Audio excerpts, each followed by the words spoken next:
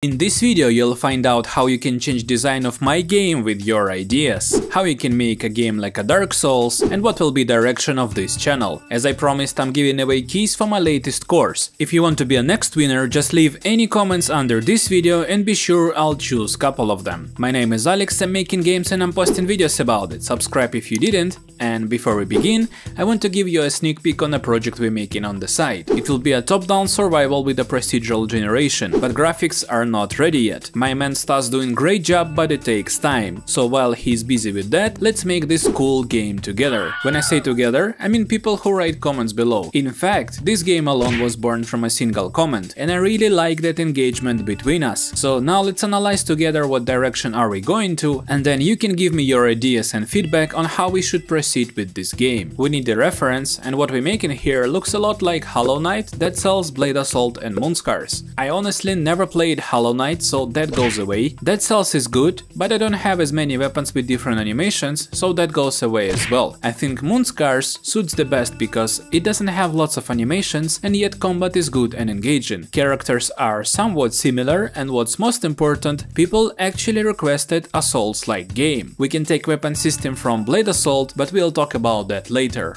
For now, let's talk about hook of the game, what will make it so special. Sure we can make enemies, levels and souls counter, but we need a hook, something engaging and interesting to make. And I thought of something. What if this girl won't be just a knight, but also a mage with time controlling abilities? Bullet time, rewind, slow motion, whatever comes to your mind. I even tested if I can stop time for a certain enemy and original reaction was priceless.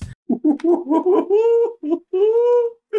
My head just exploded with ideas of what we can do with this. And this, my dear friend, where you step in. Give me your ideas on time shifting abilities or any other abilities for this character. Let's see if we can fit them in the game. Also, I wanna show you changes I did to this project and if you like the video, please press the like button below. It really helps to grow the channel. So, I was busy reworking my first course, currently making it more efficient and easier to understand, but still I found some time to work on this game game. I switched from one script to state machine. To explain briefly, it makes it more scalable. Usually, and especially if you are new in Unity, you make in player controller with one script, and that is completely fine, you can make it work perfectly. But if you need to extend it into something bigger with combo attacks and skills, it may be a trouble. So new system is scalable and it's easy to understand. I also want to share a few bug fixes. First, this sword prediction wasn't precise, and I fixed that. Second, rotation wasn't all always right, so I fixed that as well. And that's it. I'm sorry,